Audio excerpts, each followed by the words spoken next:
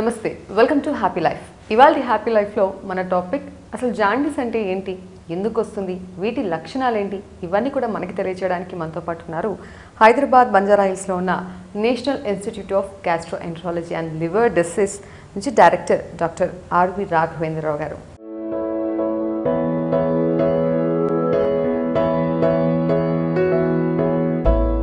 సమాజంలో liver pancreas వ్యాధులు ఇటీవల మరింతగా పెరుగుతున్నాయి. ఆరోగ్యంగా జీవించాలంటే జీర్ణ వ్యవస్థ సక్రమంగా పనిచేయాలి. అప్పుడే శరీరంలోని జీవన క్రియలు సక్రమంగా జరుగుతాయి. చాలా రకాల వ్యాధులకు జీర్ణ వ్యవస్థ ఆరోగ్యంగా పనిచేయకపోవడమే కారణం.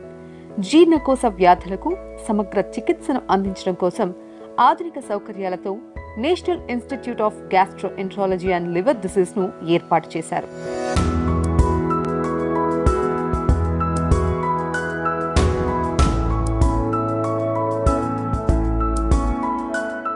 వ్యాధి నిర్ధారణలో నైపుణ్యం లేకపోవడం టెక్నాలజీని సమర్థంగా వినియోగించలేకపోవడం వల్ల జీర్ణకోశ వ్యాధులను తగ్గించడానికి పూర్తి స్థాయి చికిత్స లభించడం లేదు. ఇందుకోసం హైదరాబాద్ బంజారాహిల్స్లోని రోడ్ నెంబర్ ట్వెల్వ్లో ఎక్స్పీరియన్స్డ్ గ్యాస్ట్రో ఎంట్రాలజిస్ట్ల టీం నేతృత్వంలో National Institute of Gastroenterology and Liver Disease రూపుదిద్దుకుంది. నగరం నడిబొడ్డున ఏర్పాటు చేసిన ఈ హాస్పిటల్లో జీర్ణకోశ వ్యాధులకు సమగ్ర చికిత్సను అందించడానికి అత్యాధునిక వైద్య సౌకర్యాలను ఏర్పాటు చేశారు.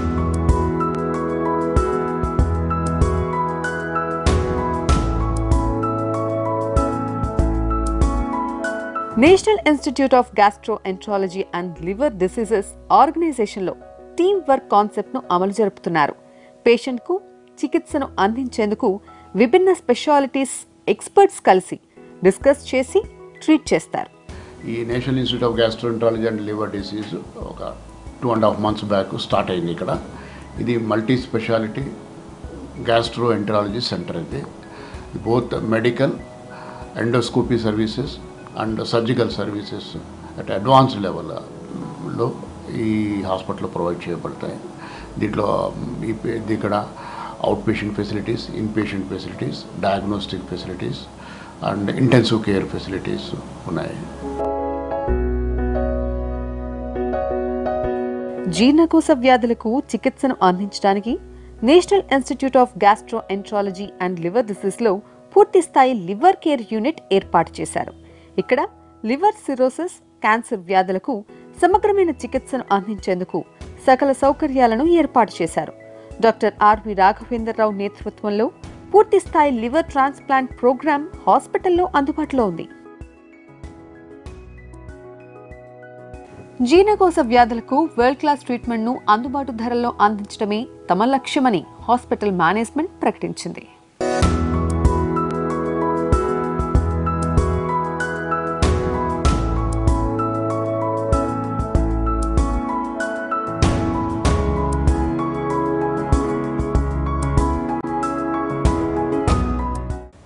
నమస్కారం. చాలా మందికి కూడా జాండీస్ అనేది చాలా కామన్గా చూస్తూ ఉంటాం. అది చిన్నపిల్లల దగ్గర నుంచి ఏజ్తో లిమిట్ లేకుండా మనకి కనిపిస్తూ ఉంటుంది. సో అసలు జాండీస్ అంటే ఏంటి డాక్టర్? అంటే పత్రికలు ఆర్ పచ్చకామెర్లు జాండీస్ అంటే శరీరము పచ్చబడ్డం. పర్టికులర్గా కళ్ళల్లో ఇది ఎక్కువగా మనకి చూస్తుంటాము. పచ్చదనం రావడం.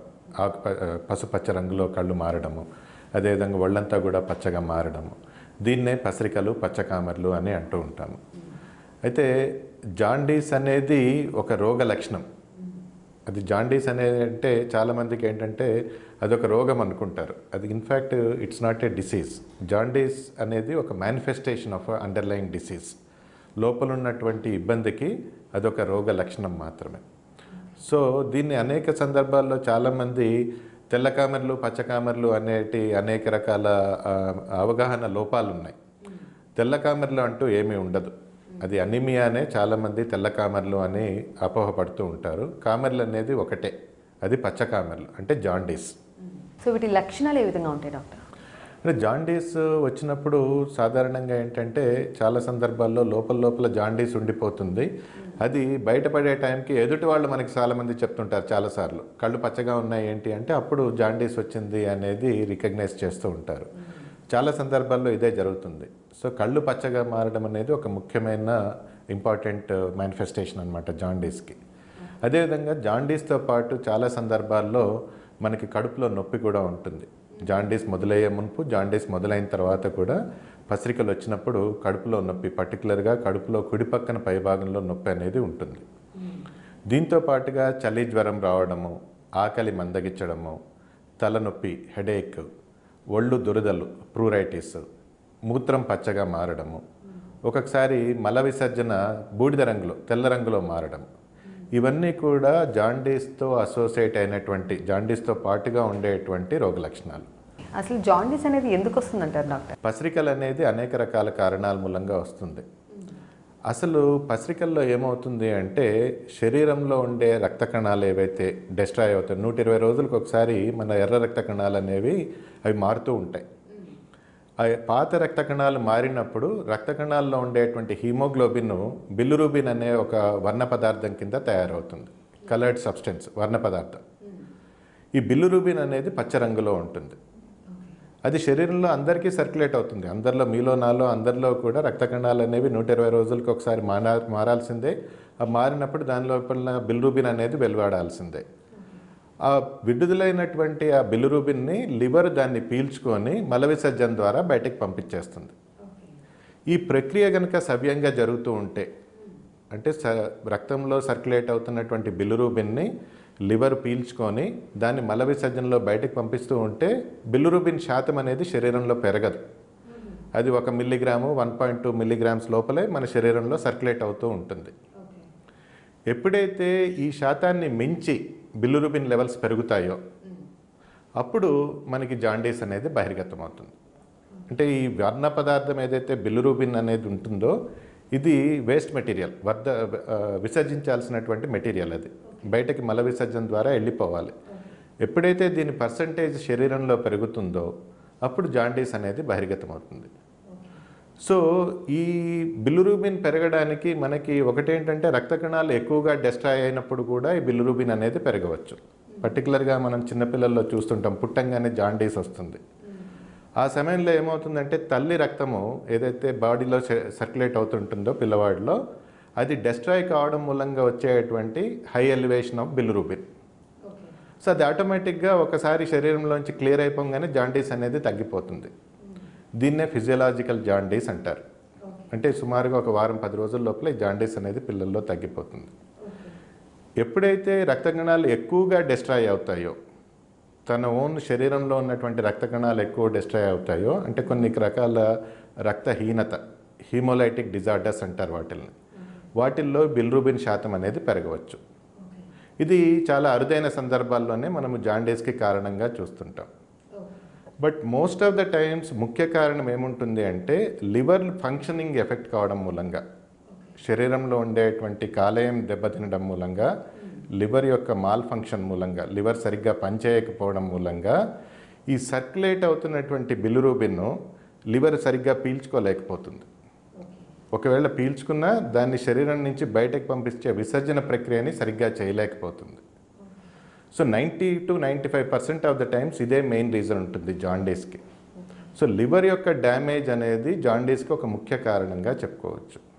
అంటే ఇప్పుడు దీన్ని ఎలా గుర్తించగలం ఈ నిర్ధారణ అనేది రోగ నిర్ధారణ అనేది ఎలా చేయగలం? చాలా సులువైన మార్గము మనం లివర్ ఫంక్షన్ టెస్ట్ అనేది చేస్తాం. అది సింపుల్గా జరిగేటువంటి రక్త పరీక్ష ఎల్ఎఫ్టి టెస్ట్. అదేవిధంగా అల్ట్రాసౌండ్ స్కాన్ కడుపుకి జరిగేటువంటి రొటీన్ అల్ట్రాసౌండ్ స్కాన్. నేను చాలా సందర్భాల్లో మీటింగ్స్లో కూడా చెప్తూ ఉంటాను అవగాహన సదస్సుల్లో వాటిల్లో కూడా. ఎప్పుడైనా సరే పసిరికలు కనిపించినప్పుడు సులువుగా అవైలబుల్ ఉండేటువంటి ఒక రక్త పరీక్ష చేయించుకోండి. సులువుగా అవైలబుల్ ఉండేటువంటి ఒక అల్ట్రాసౌండ్ పరీక్ష చేయించుకోండి. LFT test ultrasound test. ఈ రెండిటితోటి వందలో తొంభై రీజన్స్ని మనం సులువుగా పసిగట్టవచ్చు. ఇది వైరల్ ఇన్ఫెక్షన్ తోటి వచ్చిందా? లివర్ ఫెయిల్యూర్ మూలంగా వచ్చిందా? రక్తంలో లోపం మూలంగా వచ్చిందా? బయలుగొట్టాల్లో బ్లాక్ మూలంగా వచ్చిందా? దేని మూలంగా వచ్చిందనేది నూటిలో తొంభై శాతం మందిలో మనం చాలా సులువుగా ఈ ఎల్ఎఫ్టీ టెస్ట్ అల్ట్రాసౌండ్ టెస్ట్ ద్వారా జాండీస్ యొక్క రీజన్ని మనం గుర్తించవచ్చు. ఇవాళ రేపు లేటెస్ట్ పరీక్షలు అంటే ఎండోస్కోపిక్ అల్ట్రాసౌండ్ అంటారు. అంటే రొటీన్గా చేసే అల్ట్రాసౌండ్ కాకుండా కొన్ని స్పెషలైజ్డ్ సర్కమ్స్టెన్సెస్లో కొన్ని స్పెషల్ కేసెస్లో ఎండోస్కోపీ ద్వారా అల్ట్రాసౌండ్ని మనము చేస్తూ ఉంటాం. ఇది బాగా అడ్వాన్స్డ్ పరీక్ష. దీని ద్వారా లివర్లో జరిగే చిన్న చిన్న మార్పుల్ని బయలుగొట్టాల్లో జరిగేటువంటి చిన్న చిన్న మార్పుల్ని చాలా క్లోజ్గా చాలా నిశితంగా క్షుణ్ణంగా మనం చూడడానికి వీలవుతుంది.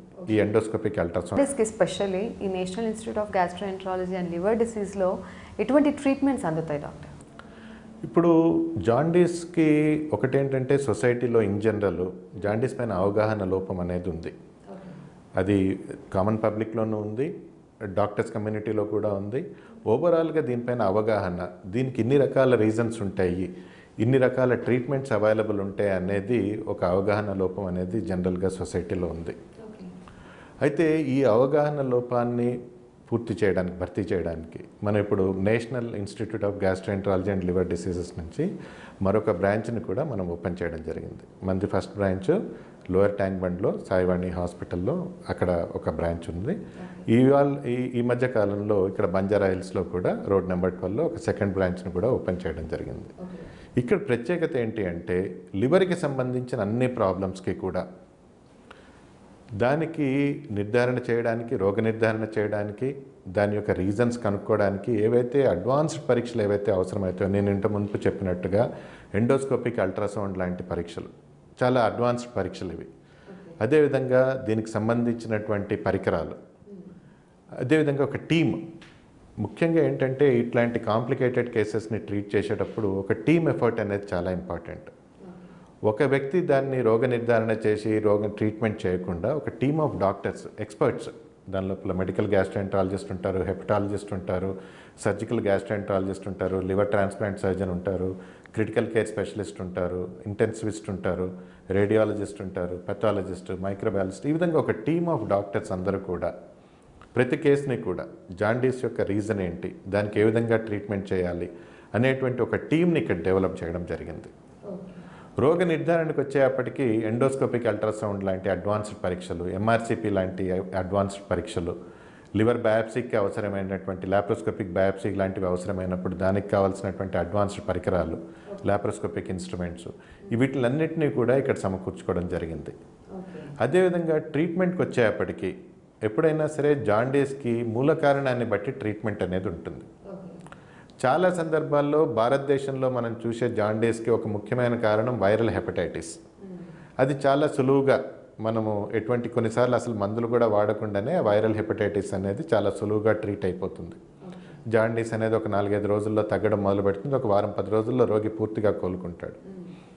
ఎప్పుడైతే మిగతా రీజన్స్ ఉంటాయో అది లివర్ క్యాన్సర్ కావచ్చు లేకపోతే బయలుగొట్టాల్లో బ్లాక్స్ కావచ్చు లివర్ ఫెయిల్యూర్ కావచ్చు ఇటువంటి సందర్భాల్లో ఈ స్పెషలైజ్డ్ ట్రీట్మెంట్ అనేది అవసరమవుతుంది. కొన్ని కొన్ని సందర్భాల్లో పేషెంట్స్ని మెడిసిన్స్తో మేనేజ్ చేసి పంపించేయవచ్చు. అవసరాన్ని బట్టి మెడికల్ మేనేజ్మెంట్ అనేది మనం ఇంటెన్సివ్ కేర్ యూనిట్లో చేయవలసి ఉంటుంది. National institute of gastroenterology and liver డిసీజెస్లో ఒక స్పెషలైజ్డ్ లివర్ ఇంటెన్సివ్ కేర్ యూనిట్ని మనం డెవలప్ చేయడం జరిగింది. దాని లోపల మ్యాన్ పవర్ కానివ్వండి పరికరాలు కానివ్వండి వీటిలన్నింటినీ కూడా దీని దీంట్లో సమకూర్చుకోవడం జరిగింది. అదేవిధంగా డయాగ్నోస్టిక్స్కి మనం ఎండోస్కోపిక్ అల్ట్రాసౌండ్ లాంటి పరిక పరికరాలను కూడా అమర్చడం జరిగింది. దీంతో పాటుగా అడ్వాన్స్డ్ సర్జికల్ ట్రీట్మెంట్స్ కొన్ని సందర్భాల్లో అవసరం అవుతాయి అది లాప్రోస్కోపిక్ సర్జరీ కానివ్వండి లేకపోతే ఓపెన్ ఆపరేషన్ కానివ్వండి దానికి కూడా ఎక్స్పర్టీజు ఎక్స్పీరియన్సు ఇవి చాలా అవసరం. ఈ ఫర్ ఎగ్జాంపుల్ లివర్ క్యాన్సర్కి ఆపరేషన్ చేయాలి అంటే అది సుమారుగా మూడు నాలుగు గంటలు జరిగేటువంటి ఆపరేషన్.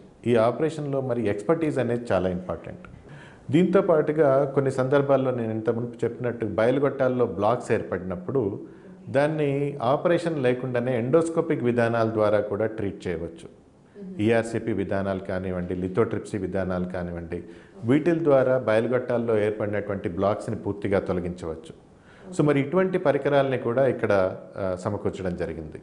సో ఈ విధంగా లివర్ ప్రాబ్లమ్స్ వచ్చినప్పుడు దానికి మెడికల్ ట్రీట్మెంట్ అవసరమైతే medical treatment ICU treatment intensive care treatment అవసరమైతే ఇంటెన్సివ్ కేర్ ట్రీట్మెంట్ ఎండోస్కోపిక్ విధానాల ద్వారా దాన్ని ట్రీట్ చేయగలిగితే ఎండోస్కోపిక్ విధానాలు ఆపరేషన్ విధానాల ద్వారా అడ్వాన్స్డ్ ఆపరేషన్ విధానాల ద్వారా దాన్ని ట్రీట్ చేయవలసి వస్తే దానికి సంబంధించిన పరికరాలు దానికి సంబంధించినటువంటి మ్యాన్ పవరు టీం వర్క్ వీటి ద్వారా ఈ యొక్క National Institute of Gastroenterology and Liver Disease సంస్థలో మనం ఈ లివర్ ప్రాబ్లమ్స్ అనేది ట్రీట్ చేయడం చూస్తుంటాం. ఇప్పుడు మీరు ఆపరేషన్స్ గురించి మాట్లాడారు. అంటే ఏ సందర్భాల్లో ఆపరేషన్ చేయాల్సి వస్తుంది డాక్టర్?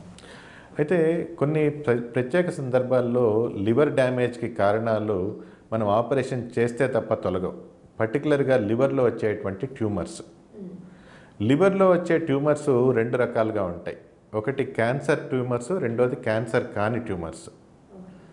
క్యాన్సర్ కాని ట్యూమర్స్లో కూడా కొన్ని సందర్భాల్లో ఏమవుతుందంటే ఎప్పుడైతే ట్యూమర్స్ బాగా సైజ్ పెరుగుతాయో లార్జ్ సైజ్ మూలంగా అవి బయలుగొట్టాలని నొక్కేసి జాండీస్ కలిగిస్తూ ఉంటాయి. పర్టికులర్గా హిమాంజోమా జైంట్ హిమాంజోమాస్ అంటారు. అదేవిధంగా ఎఫ్ఎన్హెచ్ అనే ట్యూమర్ ఉంటుంది. అడినోమా అనే ట్యూమర్ ఉంటుంది.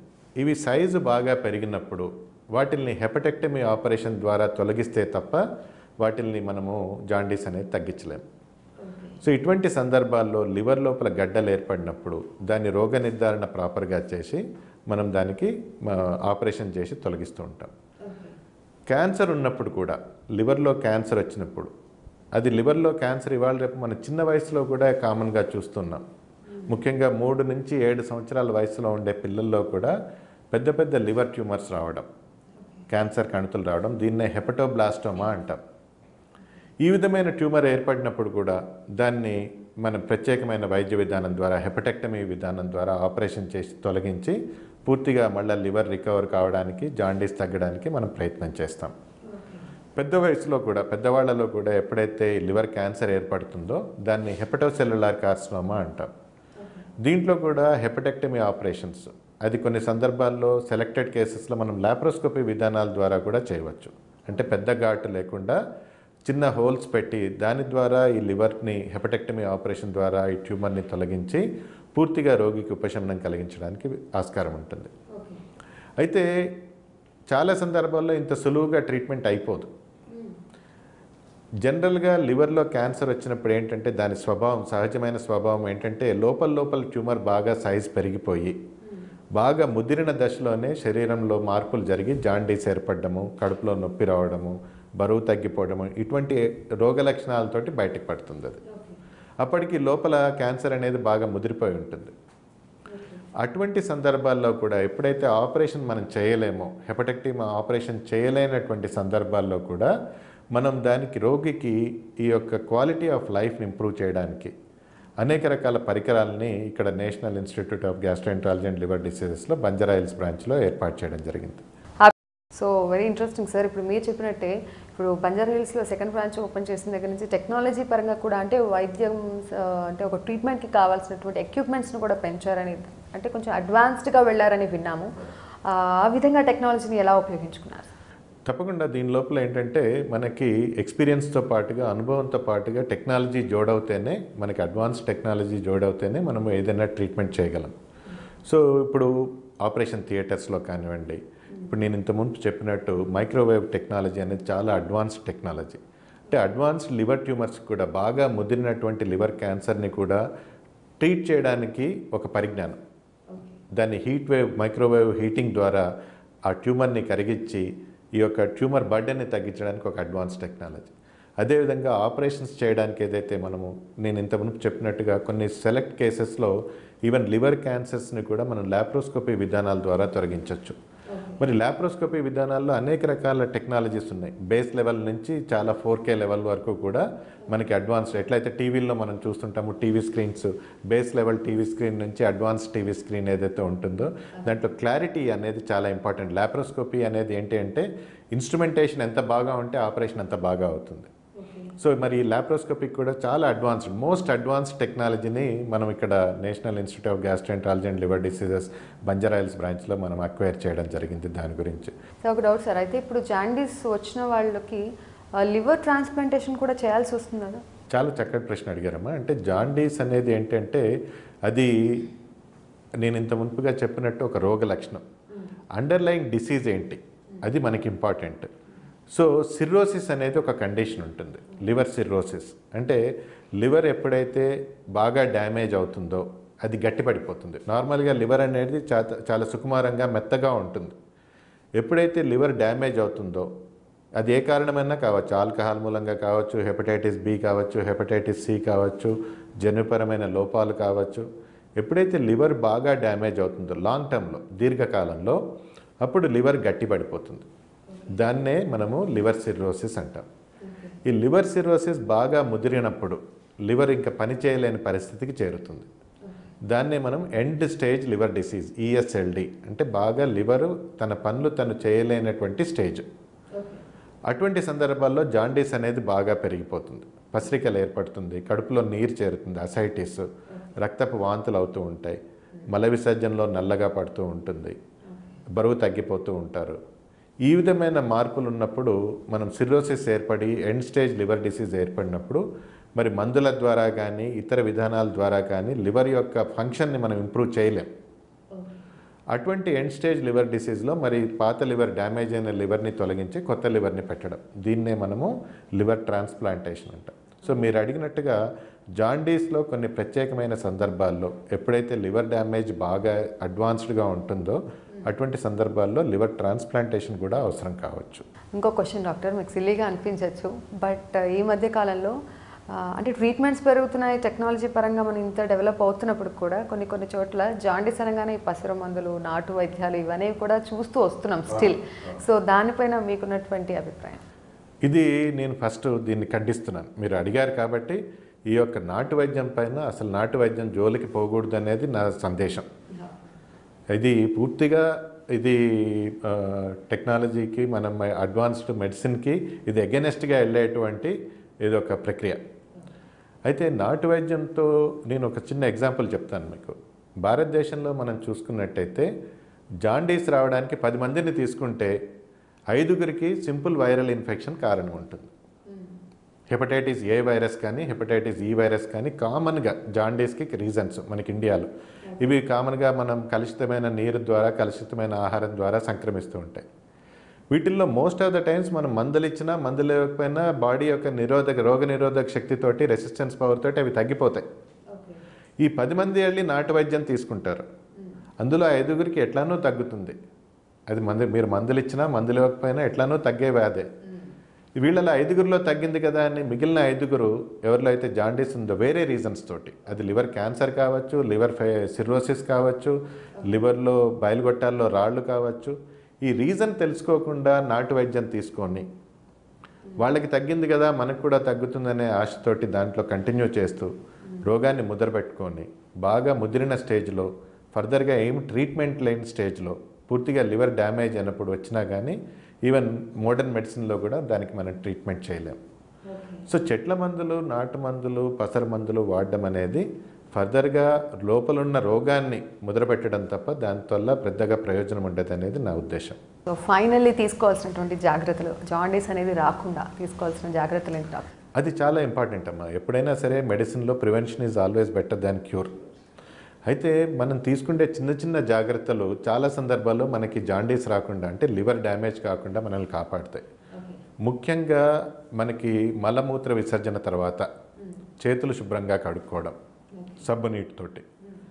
అదేవిధంగా ఆహారం తీసుకుండే మునుపు ఆహారం తయారు చేసే మునుపు చేపు చేతుల్ని చక్కగా సబ్బుతోటి సబ్బు నీటితోటి కడుక్కోవడం అనేది చాలా ముఖ్యమైన జాగ్రత్త. ఎందుకంటే ఈ hepatitis A virus hepatitis E virus ఇవి కలుషితమైన నీరు కలుషితమైన ఆహారం ద్వారా ఒకళ్ళ నుంచి మరొకరికి సంక్రమిస్తూ ఉంటాయి. అదేవిధంగా హెపటైటిస్ బికి సంబంధించి చిన్నపాటి వ్యాక్సినేషన్ మూడు డోసులు వ్యాక్సిన్ కనుక తీసుకుంటే పుట్టినప్పటి పుట్టిన పిల్లల దగ్గర నుంచి వయసు మీరిన వాళ్ళ వరకు అందరూ తీసుకోవచ్చు. వైరస్ పరీక్ష చేయించుకొని నెగటివ్గా ఉన్న వాళ్ళందరూ కనుక ఈ మూడు డోసుల వ్యాక్సిన్ తీసుకుంటే జీవితాంతం కూడా హెపటైటిస్ బి బారిన పడకుండా జాగ్రత్త పడవచ్చు. అదేవిధంగా హెపటైటిస్ బి మరియు హెపటైటిస్ సి వైరస్లు సంక్రమించడానికి ఒక కారణము మన మన యొక్క స్వెట్ కానివ్వండి అంటే చెమట కానివ్వండి లాలాజలం కానివ్వండి లేకపోతే బ్లడ్ కానీ ఒకళ్ళ నుంచి ఒకళ్ళకి సంక్రమించడం. సో అందువల్ల ఏంటంటే సేఫ్ సెక్షువల్ ప్రాక్టీసెస్. పర్టికులర్గా సేఫ్ సెక్షువల్ ప్రాక్టీస్ అనేది కండోమ్ యూస్ చేయడం లాంటివి. రక్తం అవసరమైనప్పుడు సర్టిఫైడ్ బ్లడ్ బ్యాంక్స్ నుంచే రక్తాన్ని తీసుకోవడము. మన ఇంజెక్షన్స్ ఏమన్నా అవసరమైనప్పుడు డిస్పోజబుల్ సిరెంజెస్ని వాడడము. టవల్స్ సబ్బు ఇట్లాంటివి మనం షేర్ చేయకపోవడము. ఇవి ఈ పాటి జాగ్రత్తలు తీసుకుంటే హెపటైటిస్ బి మరియు హెపటైటిస్ సి నుంచి మనం దూరంగా ఉండవచ్చు. మూడో ముఖ్యమైన కారణము భారతదేశంలో మనం చూసినట్టయితే ఆల్కహాల్. ఆల్కహాల్కి ఎంత దూరంగా ఉంటే మన యొక్క లివర్ ఆరోగ్యము శరీరం యొక్క ఆరోగ్యం అంత బాగుంటుంది. సో దీర్ఘకాలంలో లివర్ డ్యామేజ్ కాకుండా ఉండడానికి ఆల్కహాల్ని దూరంగా పెట్టడం మద్యపానానికి దూరంగా ఉండడం. సో ఈ విధమైన చిన్నపాటి జాగ్రత్తలు తీసుకుంటే మనం చాలా సందర్భాల్లో లివర్ డ్యామేజ్ కాకుండా దాని మూలంగా జాండీస్ రాకుండా మనం జాగ్రత్త పడవచ్చు. థ్యాంక్ యూ సో మచ్ చాలా మందికి జాండీస్ అంటే భయపడుతూ ఉంటారు బట్ అక్కడ national institute of gastroenterology and liver disease second బ్రాంచ్ని కూడా ఓపెన్ చేసి చాలా మంచి పని చేసింది బికాజ్ ఇలాంటి వాటన్నిటి కూడా బెస్ట్ ట్రీట్మెంట్ ఇక్కడ మాకు అందిస్తున్నందుకు thank you so much thank you so ఇదండి ఇవాళ హ్యాపీ లైఫ్ నెక్స్ట్ వీక్ మరో టాపిక్తో మళ్ళీ కలుద్దాం మంచి దానికి watching AP twenty four seven